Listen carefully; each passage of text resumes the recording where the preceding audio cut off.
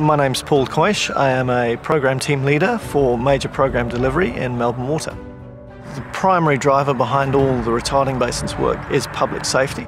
Planning starts probably two years ahead for most of these retarding basins. There's a lot of upfront work with people like DELWP, definitely councils always involved, and often community groups as well.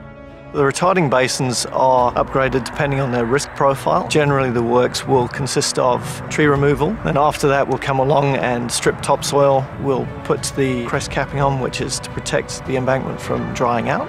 And then we undertake a whole lot of reinstatement work so we'll make sure that the environment's brought back up to standard. We welcome community feedback. Anytime we have a retarding basin underway, there's a 1-800 number that you can contact directly. That's 24-7. And we welcome comments right from the initial stages, so around the planning works, all the way through construction.